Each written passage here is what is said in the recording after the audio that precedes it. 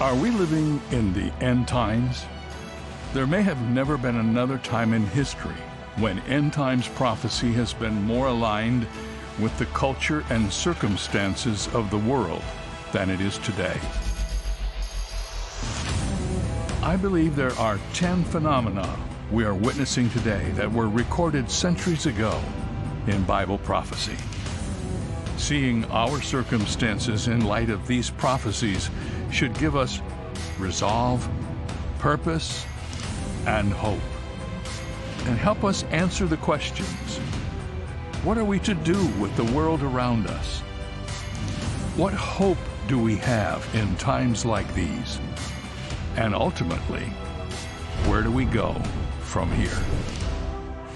Would you be surprised to know the decay of character is a precursor for Christ's return? We can see it the bad is getting worse. Godlessness is overtaking every square inch of our culture. Decency is crumbling, and the Bible predicts the rise of end times people. But just who are they? Join Dr. David Jeremiah for this special prophecy edition of Turning Point as he presents a sign of the end times. End Times People, a biographical prophecy. Sean Hopwood grew up in a Christian home in rural Nebraska, and he had parents who had started a local church. He was the oldest of five children, and he was bright and excelling on standardized tests. He also played basketball in high school and won a scholarship to Nebraska's Midland University. But in his teens, Hopwood grew disillusioned with his basketball skills. He stopped going to class and he dropped out of school. Then he joined the United States Navy and ended up in the Persian Gulf guarding warships with shoulder mounted Stinger missiles. But Hopwood developed acute pancreatitis, almost died in a Bahrain hospital, and he left the Navy with an honorable discharge. That's when lostness overtook this young man. His alcohol and drug use grew into raging addictions, and he became depressed. One day, while drinking with a friend, they decided to rob a bank together. Why not? They could use the money. They ended up robbing five banks while armed. Afterward, Hopwood squandered the money on parties. And eventually, his life came crashing down in the lobby of a Doubletree Hotel in Omaha, Nebraska, when FBI agents tackled and arrested him. A year later, he stood terrified before a federal judge who sentenced him to more than 12 years in prison. And shortly thereafter, he was on a prison plane, handcuffed, shackled, heading to a federal penitentiary. He was only 23 years old, and his life was growing worse and worse by the day. Now, if you stay with me, I'll tell you what happened to him at the end of my message. But his story raises questions for all of us. Why do people go the wrong way? Or, in a broader sense, why do good people do bad things? According to Scripture, sin is the fundamental problem of every person. Romans 3:10 says, "No one is righteous, not even one. No one is truly wise, no one is seeking God. All have turned away, all have become useless. No one does good, not a single one. That's from the New Living Translation. Our problem then isn't just that we live in a sinful world, which we do, but that we live in a world full of sinful people. because our sin affects everything in our lives. The Bible makes it clear that we are all corrupted by sin, every one of us. That corruption entered our bloodstream through Adam and Eve, who rebelled against God in his garden. And the blood disease of sin has descended through the generations and it affects all of us today. The Bible says, therefore, just as through one man sin entered the world, and death through sin, and thus death spread to all men because all sin. Because we have been stained by sin in this way, every one of us, the Bible says, there is none righteous, no, not one. We cannot produce anything good on our own. Without me, you can do nothing, Jesus said. There's no other program that you can go to. God is the only one who can offset the impact of original sin, sin that started in the garden. So, what that means is you and I live in this war zone we call planet Earth. We're pushed and pulled between goodness and evil, between love and hate, between creation and destruction. You and I are Christ followers in a fallen world.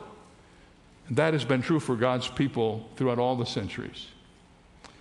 But can you feel it? Can you sense it? Something is changing. The bad is getting worse. Godlessness is overtaking every institution, every platform, every square inch of our culture because something in us is broken. We live in a world of sinful people. Better said, we live in a world of broken people. And the brokenness is becoming everywhere more evident to us as time goes by. What does this mean? Well, I want to show you a prediction about the last days that will put all of this into prophetic context. I want to quote from a letter written by another prisoner this one on death row. And he wasn't there for robbing banks, he was there for preaching the gospel. The Apostle Paul wrote his final letter to Timothy from a Roman cell. Near the end of his letter, he drew a surprisingly detailed picture of how people will behave just prior to the Lord's return and the beginning of the tribulation period. So I'm going to read that letter and see if you don't resonate with what he said. 2 Timothy 3 1 through 5. But know this, that in the last days perilous times will come, for men will be lovers of themselves, lovers of money, boasters, proud, blasphemers, disobedient to parents, unthankful, unholy, unloving, unforgiving, slanderers, without self control, brutal, despisers of good, traitors, headstrong, haughty lovers of pleasure rather than lovers of God, having a form of godliness, but denying its power. And then if you jump down in this passage to the 13th verse, here's what it says Evil men and impostors will grow worse and worse, deceiving and being deceived. So we're not just imagining this. What's happening right now isn't just something that, oh, I, I, I, haven't known many evil people before, so maybe I'm just meeting them all right now. No, the Bible says that there will be a trajectory toward the coming of Christ when sinful people will be more sinful, evil people will be more evil, and difficulty in relationships and all the rest will be more profound. You know, it's an interesting thing. Nobody knows how good a person can be and nobody knows how bad a person can be.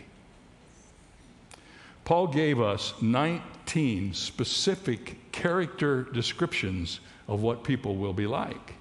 In other words, here in 2 Timothy 3, the Lord gives us 19 expressions to depict the nature of godlessness in the last days, the things we should expect and not be surprised by.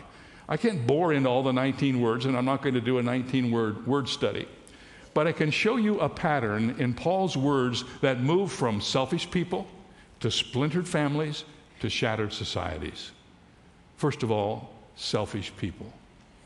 Right up front, the Lord tells us that the last days will be populated by people who are lovers of themselves, narcissistic people, people who see themselves in the mirror and applaud.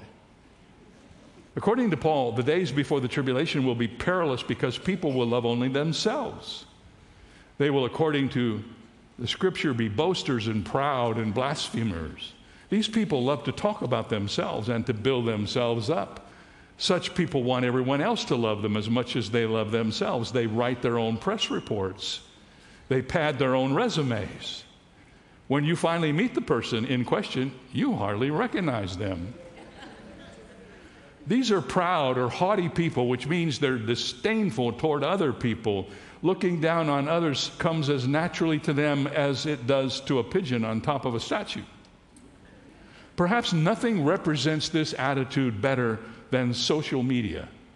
Facebook, Twitter, YouTube, and Instagram allow us to constantly crow about our own success while simultaneously slashing away at the achievements of other people. Often through anonymous comments and online bullying, social media is a stronghold for selfish people. Unfortunately, selfish people rarely keep to themselves. Well, selfish people end up being a part of splintered families people will focus less on their loved ones. Their time, energy, and passion will be tied up in themselves. And the result was, in the days prior to the tribulation, will be strewn with broken homes. And he uses five descriptions. These five descriptions highlight the damage that broken people perpetuate on their own families in the last days it says they are disobedient to parents, unthankful, unholy, unloving, and unforgiving. Those are the five things that are in the text. And I want you to know that when ancient Greek writers wanted to say something negative, they took a positive word and put a letter in front of it called the alpha privative. The alpha negated the positive word. You see the principle in English when we say something is distasteful. We take the word tasteful and we put a prefix in front of it and that prefix negates the word. All five of Paul's terms about the family included in the paragraph are alpha privatives. All five describe a positive attitude that has vanished from most families during the last days. Children will be disobedient willfully. They will do what they want to do, casting off oversight and authority. They will ignore the instruction of Scripture that says, Children, obey your parents in the Lord, for this is right.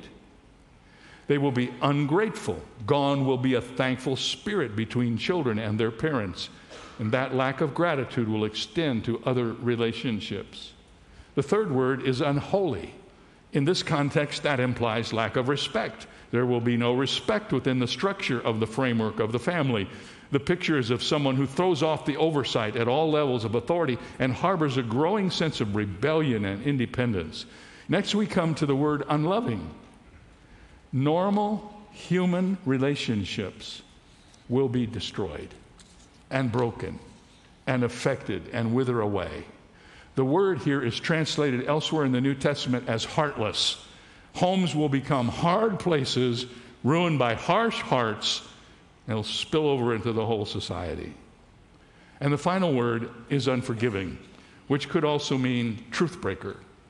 This refers to people whose rebellion becomes stubborn and hard hearted. The root of bitterness within them grows into an emotional forest of poisonous trees bearing toxic fruit. And the lack of capacity to forgive others means they live as though they themselves could never be forgiven for all the harm they've done. By now, you may be wondering is this going to keep getting worse and worse? Is this going to be a whole negative sermon? No. Let's take a breath of fresh air. Let's take a moment and turn this around. If the ungodly world is characterized by these negatives, how should God's people live in the midst of it all? It's very simple. Our grammar has to change. We should leave off the alpha privative. In Christ, it's not appropriate to negate a virtue. Our homes should be filled with obedience between children and parents. Families should be filled with gratitude and defined by respect. They should exude a natural love and affection, and we should be able to trust each other. We have to work hard to avoid the alpha privative lifestyle. You probably never heard that word before, but here's a new term. Don't be an alpha privative family. Don't be a family that negates all the virtues that you've been given by Almighty God we must be doggedly committed to biblical marriages and kingdom families. Whatever has happened to you in the past, start where you are today. And with God's help, make your home a place that's indwelled by the Lord Jesus Christ. Make it a Christian home. So, are you getting this picture? When you have selfish people, they end up creating splintered families. And splintered families create shattered societies. Now, I'm going to do something right now that I, I've fought with myself all week as to whether I should do this or not. So I'm not really sure whether I should do it, but I'm going to do it. So One of my favorite preachers is Tony Evans. I love Tony Evans. Believe it or not, when I was a, when I graduated from seminary, I went back and I taught some postgraduate courses, and Tony Evans was in my class. My great my great claim to fame was I was Tony Evans' teacher for one semester. And so everything good about him, he learned from somebody else. If he's messing up, it's my fault. You know that, don't you? Tony and his family have been friends of ours for so many years, and I love to hear this man preach because what an orator he is. When he goes off on one of his orations, he just spellbinds you. And I heard one in one of his messages recently that totally illustrates what I'm talking about. And I can't be Tony Evans, so don't get your expectations up. But I'm going to tell you what he said. Here's what he said If you're a messed up man and you have a family, you're going to help make a messed up family. If you're a messed up man contributing to a messed up family and your messed up family goes to church, then your messed up family is going to make its contribution to a messed up church. If you're a messed up man contributing to a messed up family, resulting in a messed up church, causing a messed up neighborhood, and your neighborhood's part of a city, well, you messed up neighborhood's going to make its contribution to a messed up city. If you're a messed up man contributing to a messed up family, resulting in a messed up church, causing a messed up neighborhood that resides in a messed up city that's part of a messed up county, and your county is part of the state, well, your messed up county is going to make its contribution to a messed up state. If you're a messed up man contributing to a messed up family, resulting in a messed up church, causing a messed up neighborhood that resides in a messed up city that's part of a messed up county, contributed to a messed up state, and your state's part of the country, well, guess what? Your messed up state's going to make its contribution to your messed up nation. And if you're a messed up man contributing to a messed up family, resulting in a messed up church, causing a messed up neighborhood that resides in a messed up city, that's part of a messed up county, that's contributing to a messed up state, your messed up country is going to make its contribution to a messed up world. So, do you get that? I wish I could do it like him, but I can't. But I love the way he does it and love most of all his point. It starts with individuals, doesn't it? We look around we say, "Oh, this my church is a mess." Well, you probably had something to do with that. Right? If you're looking for a perfect church, if you can find it, don't go there because you'll mess it up. you know, we're always looking for some corporate answer to the problems, but the problems are ours. Our families are what we create them to be. Our counties are what we allow them to be. Our cities are. It's all about us. So, unless we're willing to take insight on ourselves, we don't have much of a chance to get better, do we? So, we have selfish people, we have families that reflect on the selfishness of the people in them. And then those families go into churches and cultures and societies, and the society becomes what the family is. So, what do we do with that? I mean, in this message series, I've been trying to tell you here's where we are, here's what that means, and where do we go from here? So, how do Christians live in such a place? where selfishness reigns and immorality increases, how can we be different kind of end times people in a broken world? Let's take a page from Benjamin Franklin. In his autobiography, Franklin described the darkness that filled the streets of Philadelphia during his day. It was pitch black at night, and people were sleeping on the streets, and they were stepping into mud puddles and stumbling over rough stones, and even worse, crime was growing It wasn't safe to be out after sunset. So Franklin waged an intense campaign to persuade everyone to light the area around their own house. But he got nowhere. Finally, he just did it himself, but only in front of his own house. He planted a pole in front of his porch with a kerosene light on top of the pole. That night in the city of Philadelphia, there was one house bathed in warm glow. The lamp cast light on the street, giving passerbys a feeling of well being and safety. But the next night, another house had a lamp, and then another, and pretty soon almost the whole city was lighting the walkways in front of their houses at night. Franklin learned something. He learned that our example is often greater than our words and our admonitions. And that's what we need to learn. With that in mind, I want to lift you out of 2 Timothy and take you to Ephesians 5. And this is the passage that says, For you were once darkness, but now you are light in the Lord. That sentence is short enough to memorize, but it's powerful enough to illumine the pathways around your life. First of all, you need to remember the grace that you received. How do we walk in the light when our society is defined by end times people? How do you be a Christian if you're surrounded by people who are doing the kinds of things we're watching right now, literally destroying the fabric of our country? Well, you have to experience God's grace through an encounter with the Lord Jesus Christ. Metaphors involving light pervade Scripture. And Ephesians 5 8 describes the difference that comes over us when we have grace with Christ. Before that moment, we live in darkness, as deep as underground caverns. We are spiritually, morally, personally, and eternally in pitch blackness. But the moment we come to Christ, He pushes down the lever that connects us to the throne of grace, and He switches on a billion megawatts of light inside of our souls. That experience is so vivid that many Christians describe their moment of grace in bright terms. Number two, reflect the light that you have become. That brings us to our next tactic for living in these dark times. We have to exude God's light. We have to convey it. We have to reflect it. We have to radiate it. That's what we read in Ephesians 5 8. Walk as children of light for the fruit of the Spirit is in all goodness, righteousness, and truth, finding out what is acceptable to the Lord. Men and women, I am concerned about the way this present darkness is casting the shadow over many churches and over many Christians. Too many people in our community of faith are trying to blend the light and the darkness so they can kind of come up with a grayness in their life. And that doesn't work. It's a devilish lie to believe that we can be Christians without being different and distinct from the world. You can't. And you can't marry the world so that you'd be more acceptable to them. A lot of my younger friends who are pastors are doing that now with many of the social issues that we're facing in this country. As followers of Jesus, we have left the kingdom of darkness and we are now children of light.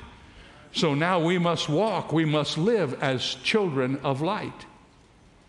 Finally, remember the grace you received, reflect the light you've become, and reveal the darkness that you see. The Ephesians passage goes on to tell us something else. Have no fellowship with the unfruitful works of darkness, but rather expose them, for it is shameful even to speak of those things which are done by them in secret. But all things that are exposed and are made manifest by the light, for whatever makes manifest is light. Therefore, he says, Awake, you who sleep, arise from the dead, and Christ will give you light. John 20, 21 says, For everyone practicing evil hates the light and does not come to the light, lest his deeds should be exposed. But he who does the truth comes to the light. You and I are children of light. I don't want to be a negative person, offensive, making people uncomfortable or drive people away. We can't help being lights in the darkness wherever we go, and it's going to be different for you if you live for Christ. If you're not trying to be gray, if you're not trying to mesmerize your own self by marrying the darkness with the light, which doesn't work and is not acceptable and will just lead you wrong. If you're trying to really be the light, you just need to get excited about this. Someone isn't going to like you as much as they did before. But what I know is this everybody in the world, whether they like to admit it or not, is looking for light. They're searching, they're trying to figure out why they are the way they are, why they do what they do. They're looking for someone to help them. And if you don't shine the light, if you compromise your witness, they won't come to you because they'll see the phoniness of who you are and what you're doing.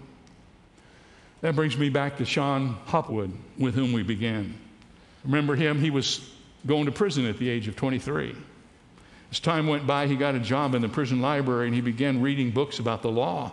And as he learned about the law, he began taking on cases for fellow prisoners, writing petitions they could use in federal courts.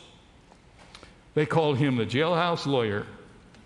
Sean also began corresponding with a friend named Annie, his secret crush through high school. Furthermore, his parents let him know. They continued to pray for him. And his mom, she kept sending him Christian books. One day, Sean's prison friend Robert had a life changing experience with Jesus Christ. Sean took all that in and he found it increasingly difficult to rationalize his own darkened life. After Sean was released from prison in 2009, he and Annie were engaged, and they asked Pastor Marty Barnhart to officiate the wedding. But Barnhart wanted to talk to them first. He asked them what they believed about Jesus, and he said they could be forgiven by the shed blood of Christ.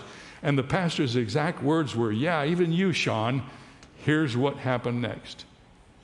The next day, I couldn't accept the feeling, said Sean, that God had been pursuing me for a long time. And that if I just abandoned my stubbornness and selfishness and hand everything over to Him, I would find redemption. What does it mean to be redeemed? And how do you redeem yourself after robbing five banks? Well, the answer is you don't. The answer is that you need some help. In Ephesians 1 7 through 8, Paul writes that in Christ we have redemption through his blood, the forgiveness of sins in accordance with the riches of God's grace that he lavished on us.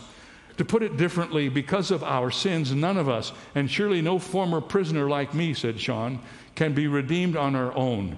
We need the gospel of grace, which says that each of us matters and has worth because we're made in the image of God.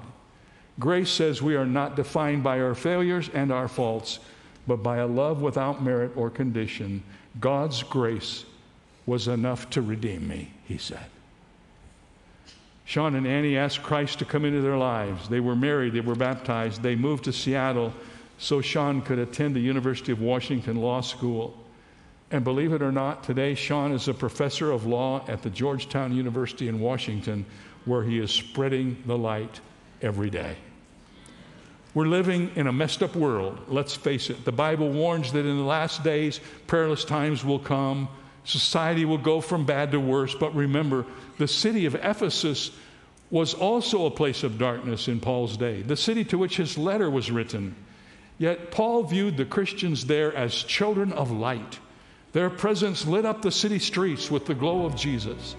So even in dark days, you can experience God's grace, exude His radiance, exhibit His holiness, and in a world increasingly dominated by the end times, God has empowered you to shine. And how many of you know the darker the night, the brighter the light?